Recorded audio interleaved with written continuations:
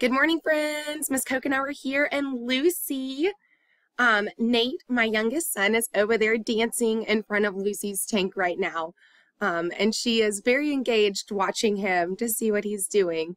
I think he's also dancing with one of our random axolotl salamanders, so you may see his little face pop in in a second. Um, I did want to hit the highs and lows of ownership of an axolotl. I've had a lot of friends email and ask, oh, where can I get my own axolotl? Well, y'all, we need to talk about it first because they're not as easy as they look. First off, they're amphibians and their skin is extremely sensitive. So what does that mean? Well, that means you got to watch that water level and you've got to be able to understand the life cycle of um, cycling the water. If your nitrates are too high, it's going to burn their skin. Um, and the nitrates, like their poop, basically. So you have to get good bacteria built up in your tank before you can ever put your axolotl in there. It took our tank six weeks to cycle with a starter fish that we got at the aquarium where we got Luci. Um, and it was just a big goldfish. But that goldfish helped build our tank quicker. If you don't use a goldfish, you have to use special chemicals that you can order to help build up the cycling and make sure that your nitrates and ammonia are balanced. Um, now with Luci's tank, because it is balanced, I check it every couple days. Um, we check it with strips to make sure nothing's too high or low. If it is, I adjust with a water change. Um, every week we do a 25% water change. And also sometimes I have to add like new water with prime, which is a chemical that gets rid of the chlorine from our tap water. And sometimes I even have to add things like um, pH balancer, like powder. So sometimes if you're looking at her tank, you'll see a white powder, and that's because her the pH was too high and I've got to neutralize it. Again, it's all about this life cycle, water cycle system for these critters to have a safe tank. Additionally, they can't just be in a normal fish tank. They've got to be in a large tank Luci started in a 10 gallon tank and she outgrew that within a few, like the first three months.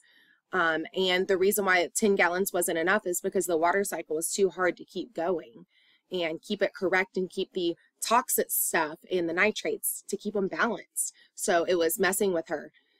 Um, so we moved her to a 20 gallon tank. She is currently in a 20 gallon tank with two filters. A lot of people only do one filter.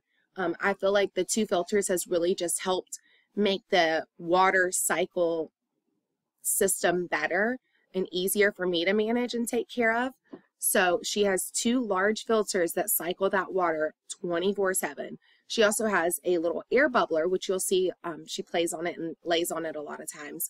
Her little air bubble that helps pump like oxygen and just kind of keeps that water moving and moving around.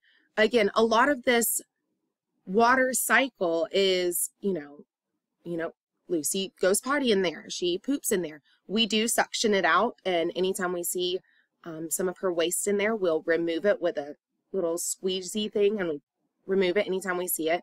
There's also bacteria from uneaten food that we have to maintain and make sure we get rid of. Um, and then some people have plants and other things in their tanks that lead to decay of organic matter. We don't have that. I like to keep hers kind of more clear and clean um, and pristine. And I'm also so concerned about potential parasites being on any of the plants or living things that could go in her tank that we don't even, we don't go there with that. Um, all of her food is frozen food that we give her or pellets. And that works for us. A lot of people love that. Some people may not agree with the way we do it. But I do want to mention um, that pros of having an axolotl, they're super cool. They do learn your voice, so they'll come out to you and interact with you. Um, and it's so neat to watch them grow. Cons, you can't hold them. You're not allowed to touch them. It will mess up their slime coat. Um, and you can't take them out of the tank. You can't travel with them. They pretty much need to stay put in their gallon cycle, um, or 10 gallon, 20 gallon cycle tank 24 7.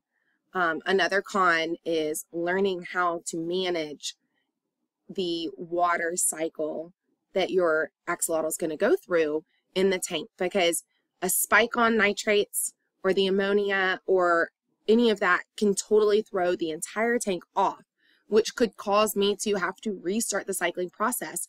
And then she would have to be in a tub for those six weeks while I recycled the entire tank. Um, and that tub would have to be cleaned daily. Um, and she would also have to be kept in a fridge. And that's my last point is these critters require a certain temperature. Um, in Mexico, the water is below 65 degrees. Ideally, they're they do better between 60 degree water and probably 63 degrees. So even 65 is a little, a little bit on the warm side for them. So, so you either need, depending on where you live, you're going to need a chiller or you'll have to hook up fans. And that's what we do here in the North Georgia mountains. Um, a, she's located in our basement, but B, we hook up fans to chill the water during the summer months when it gets really hot. So it's a lot more cumbersome um, and takes a lot of background knowledge and information in order to be able to own these creatures more than you would think.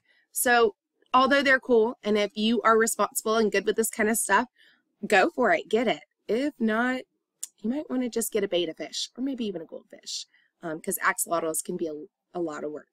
Um, but they are super cool and we do love our Luci girl and I'm so grateful that we we have her. So, you know, there you go. All right, and we'll finish up our little video. Um, yeah, and that's Mr. Nate. He loves Luci. Um, and we actually got Luci for my oldest son's birthday.